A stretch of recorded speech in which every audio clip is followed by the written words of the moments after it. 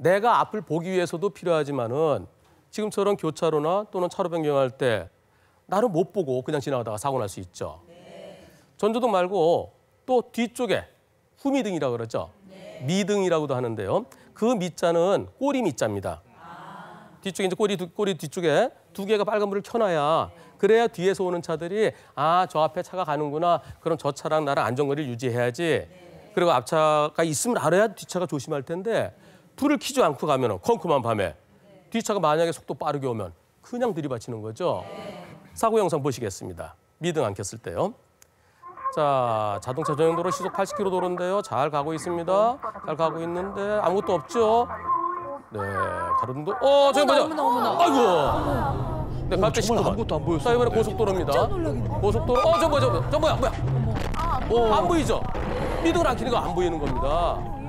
자 이번엔 저 앞에 어떤 차가 왔다 갔다 할 거예요 휘청 휘청 할 겁니다 저 휘청 휘청 하죠 네 휘청 휘청 저러다 사고로 이어지는데요 꽝!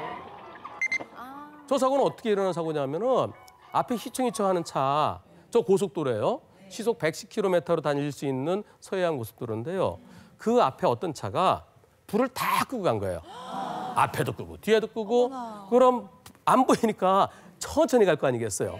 근데 뒤에서 시속 110km 또는 그보다 좀 더 빠른 속도로 가다 보니까 갑자기 차가 나타나요. 이 전조등 불빛이 헤드라이트가 멀리 안 보입니다. 이 상향등을 키면은 한 100m까지 보이는데요. 근데 하향등을 키면은 우리 만화 보면 헤드라이트 이렇게 하면 이 동그란 두개 그려놓잖아요. 거기가 보이는데요. 그거 3, 40m밖에 안 됩니다. 그런 고속도로에서 시속 100km 또는 110km 달리는데 30m 앞에 거기 시커멓게 갑자기 나타나면 그리고 그 차가 느리게 가면 도저히 못 피하는 거죠. 네, 지금처럼 이 헤드라이트를 안 켜고 또 미등을 안 켜는 것은 나도 죽을 수 있고 상대도 죽을 수, 죽을 수 있게 하는 매우 위험한 행동인데요. 그럼 라이트를 안 켰을 때 얼마나 위험한지 실험을 해봤는데 뉴스 보시겠습니다.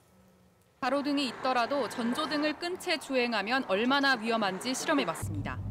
전조등을 켠 상태에서는 50m 전방의 보행자를 인지할 수 있지만 전조등을 끄면 10m 앞까지 다가가야 겨우 보입니다. 앞 차량이 사이드 미러 등을 통해 후방의 스텔스 차량을 인지할 수 있는 거리도 20m 정도에 불과합니다. 20m는 시속 70km로 주행 시 1초면 도달할 수 있는 거리라 운전자가 물체를 발견했을 때 대응하기 이미 늦습니다. 네. 지금 보신 거는 그래도 가로등이 있잖아요. 아까 보신 거는 고속도로나 자동차 전용도로는 가로등도 없어요. 얼마나 위험한 상황이에요. 따라서 저런 위험을 발생시키면 안 되겠죠. 반드시 밤에는 라이트를 켜야 됩니다. 전조등 켜고 미등 켜고 그걸 켜지 않으면 처벌받아요. 여기서 퀴즈입니다. 퀴즈 100점짜리. 밤에 라이트를 켜지 않았을 때 범칙금은 얼마일까요? 아, 이럴 때도 범칙금이 부과되는군요. 어, 그럼요, 그럼요. 예. 네. 범칙금 얼마일까요? 주관식이 KBS